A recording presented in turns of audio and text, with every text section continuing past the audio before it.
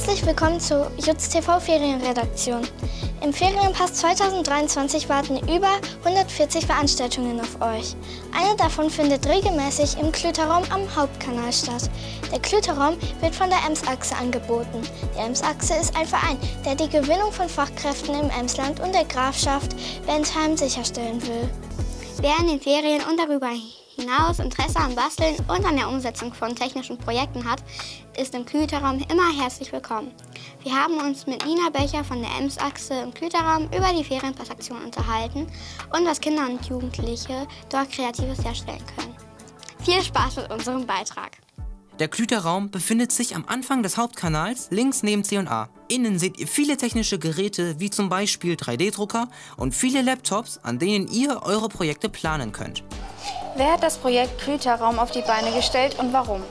Ähm, das äh, Projekt Klüterraum ist ein Projekt von der Ems-Achse. Wir sind ein Verein äh, für die Region ähm, und der Klüterraum ist eins von unseren viel, vielen Projekten, um ja, Geräte, die hier sind, äh, Techniken, neue Techniken, einfach mal vorzustellen. Dass jeder hat die Möglichkeit, hierher zu kommen und die Geräte auszuprobieren ähm, ja, und neue Techniken kennenzulernen.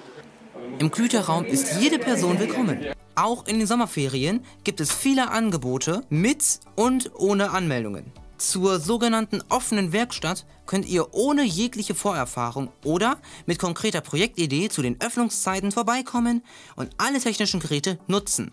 Ähm, wir wollten ähm, auch Kindern die Möglichkeit geben, ähm, hier sich mal auszuprobieren und daher ähm, ja, haben wir ein paar äh, Projekte entwickelt, die wir gemeinsam durchführen mit Anleitung, ähm, genau, dass man wirklich mal was selbstständig durchführen kann, selbst was bauen kann. Die offene Werkstatt ist für Schüler zwischen 10 und 16 Jahren geeignet und der Bau von Modellbooten ist für das Alter 10 bis 15 gedacht. Außerdem gibt es noch Angebote, bei denen der 3D-Drucker zum Einsatz kommt. Wir haben zwei verschiedene Ferienpassaktionen. Einmal haben wir eine Schokotaler-Aktion. Da haben wir 3D konstruiert, ähm, gelernt, wie man überhaupt 3D-Konstruktion erstellt. Dann ein Taler selber konstruiert, selbst kreiert, ähm, ausgedruckt, in Silikon gegossen und werden den dann äh, morgen in Schokolade gießen. Und heute hatten wir eine zweite äh, Aktion, da haben wir Modellboote gebaut. Tim arbeitet gerade in der offenen Werkstatt am Laptop, um später etwas am 3D-Drucker herzustellen. Warum machst du heute hier mit? Äh, weil ich mal gucken wollte, wie das hier so läuft. Äh, was gefällt dir hier an der Aktion? Dass man hier selber Sachen machen kann. Und woran arbeitest du gerade? Das sieht ziemlich interessant aus, deswegen äh, fragen wir. An einem Namensschild für meinen Schlüsselbund. Wird es noch weitere Ferienpassangebote geben?